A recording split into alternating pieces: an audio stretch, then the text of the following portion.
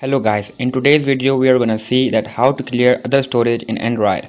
So first of all, you have to go to the Play Store and then you have to type storage analyzer. Once you type storage analyzer, you can see the app. You have to click on it and install.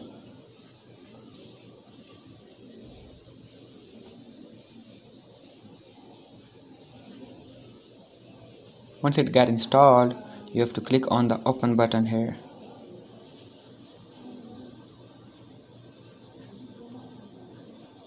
Once you get to the screen you have to grant him the access.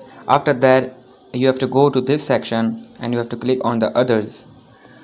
And when you click on the others as you can see there are a lot of files like OBB files temporary files EXO files. So you have to click on the each one and you have to select it and after that you have to delete it.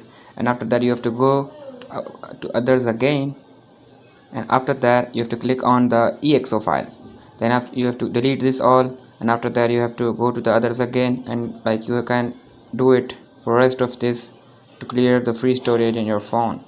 So i hope you found this video helpful. If you found this video helpful make sure to like the video and subscribe to our channel to see more content like this. Thank you so much